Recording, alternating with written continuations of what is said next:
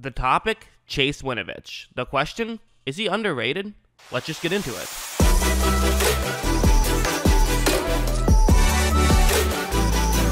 Okay, so kind of lost in the shuffle of all of the tremendous edge rushing rookies that came out of last year's draft.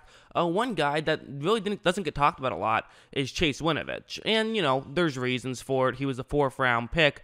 Uh, he you know had five and a half sacks last year, so it's not like he was incredible or anything. I mean, you know, Maxx Crosby was drafted in the same round, and Crosby definitely outperformed Winovich. Although what I find interesting about Winovich is that if you look at his actual snap totals, he did not get that much playing time.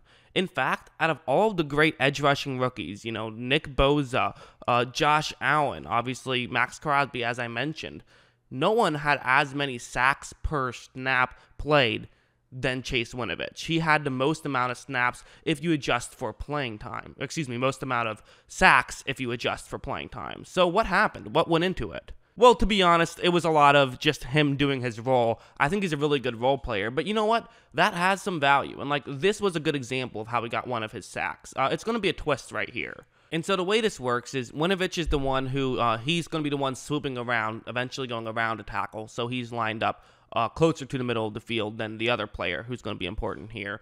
Uh, but the the thing about this play that's interesting is that you know the way it works is typically you want to get s- some offensive lineman out of position. Typically it's going to be the tackle, 77. Uh, basically, uh, Winovich's teammate runs into the tackle and he just sort of runs around. But what I love about how Winovich approaches this is watch how he's going to go and attack 63 first. Watch how he starts off as though he's running to, into him, but then makes a quick swipe move and gets around, and he's able to be in there and help make the sack. I'll show it a couple times. You know, it's just it's good speed. Uh, again, this isn't the same as him just you know being able to beat a left tackle one on one with a you know move. He's not really that guy, and you know what? That's okay. New England doesn't need to have a guy like that. In fact, a lot of what they do is not having a Chandler Jones, who you know they had they, they obviously famously uh, traded him away for peanuts because they didn't want to pay him, even though he's one of the best players in football. Uh, because they don't need that. They want guys who can just do their role. They trust that they can get pressure just with role players, uh, you know, close to the same amount as they would be able to if they had guys who can get consistent pressure. And he is one of those guys who can be a role player that can allow consistent pressure without you having to pay him too much. But like this is another example. Uh, it's going to be the same thing, a twist, uh, and this time he's he is the one who's lined up on the edge right here. Uh, and what's going to happen is that, uh, again, he's going to do something very similar, right? When the ball is snapped, notice how he runs so far over to the tackle and then gets his left hand and is going to slap that tackle's hand out of the way. Uh, again, this is the move that you can try and pull off. He's not trying to pull this off in a traditional way. He's just trying to get the tackle out of position. Uh, and doing this does two things. One, it helps sell to the guard that uh, you know you're going up against a tackle, so you might have more space uh, when you move over and finish off this twist. But the other thing it does is it gets a tackle basically out of the play, and it could free up uh, a situation for your teammate. And as you see, they're both able to create some pressure, but it is Winovich who ends up making the tackle. I also do think that, and yes, I, I realize the, the, the humor here, but I am going to say that I like the football IQ of the, the short white guy. I get it, but I actually do. I think that he makes some really smart plays. Uh, like on this one, going up one on one against uh, a left tackle right here.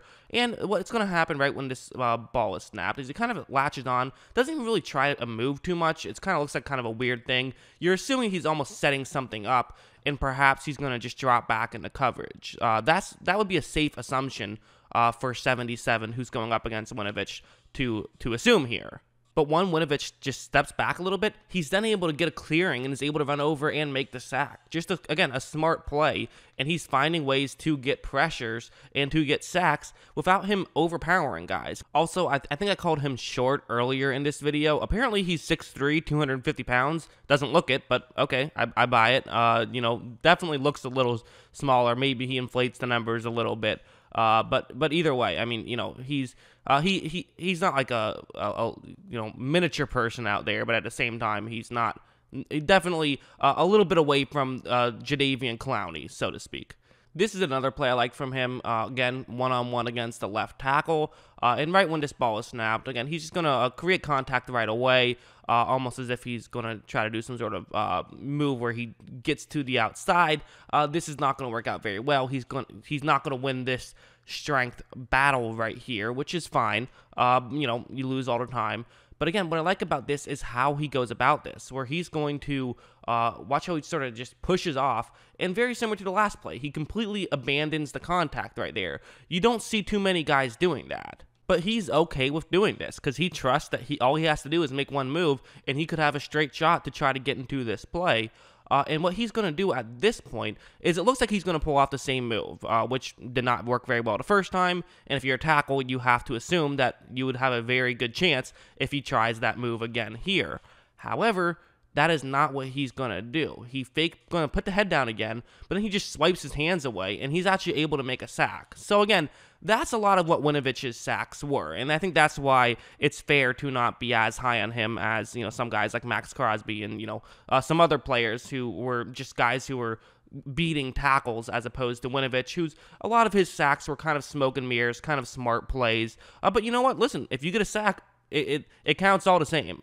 I do find the New England Patriots interesting. I do think that Winovich, uh, he's probably going to end up having to have a much bigger role than they kind of were preparing him to have heading into year two, because uh, just because of all the the opt outs, uh, and you know they lost Kyle Van Noy, uh, Dont'a Hightower, and Jamie Collins now, so they have some shoes to fill. I realize that Winovich doesn't really play those positions, but also, you know, the, the New England Patriots to some degree will play positionless football at times. So, uh, you know, I, I, suspect that he will probably uh, kind of be, in that a bit of that mold of doing whatever. Because I know if I don't clarify that, people in the comments are going to say they're completely different positions. He doesn't play the position of middle linebacker. I know he doesn't. I'm not saying he does, but there's there's there are similarities and there are carryovers on those positions. That's why I'm bringing it up. Uh, they've they've lost a lot, but uh, I do think that Winovich probably will have to get more playing time.